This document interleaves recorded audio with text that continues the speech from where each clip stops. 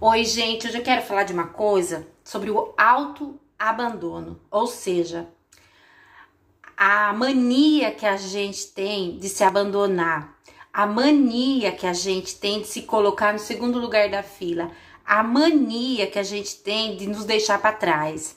É o seguinte, se você faz isso por alguém, por algo, por algum objetivo, por alguma, uma, alguma coisa na sua vida, ou porque você está triste, ou porque você está com problema, ou porque você não encontra possibilidade de mudança na sua vida, seja qual for o motivo, não se esqueça de uma coisa, tenha consciência que ninguém, gente, presta bem atenção, ninguém vai voltar para te buscar.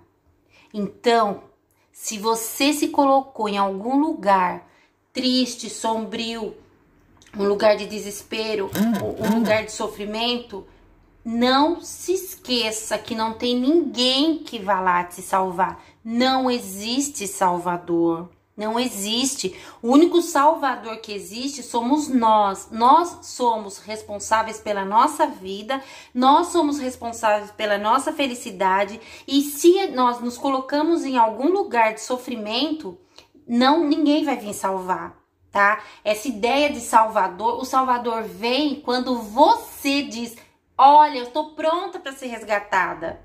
Aí a gente acha um Salvador, a gente acha ajuda.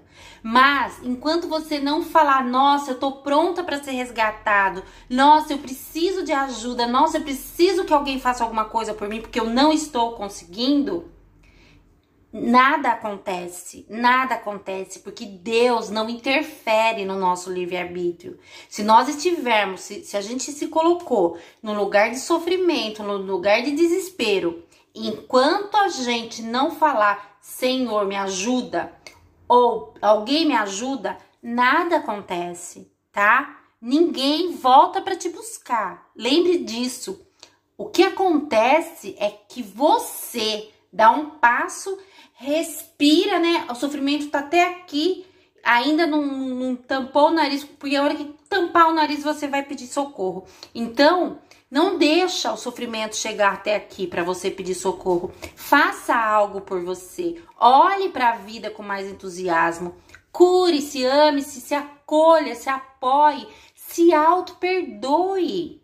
Se perdoe, perdoe os outros, mas perdoa a si mesmo também. E, e, cuida, mas cuida de você, porque ninguém vai fazer isso por você, gente, ninguém. Porque todo mundo tá ocupado em cuidar de si próprio. É o natural, tá bom? Um beijo, muita, muita, muita gratidão.